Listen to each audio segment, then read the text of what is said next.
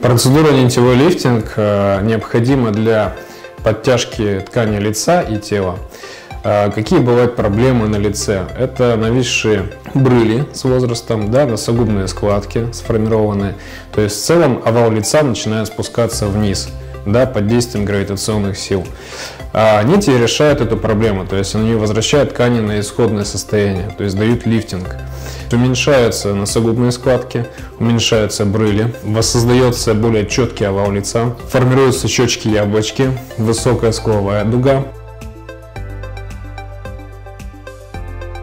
Для тела нитевой лифтинг показан с целью коррекции возрастных изменений кожи.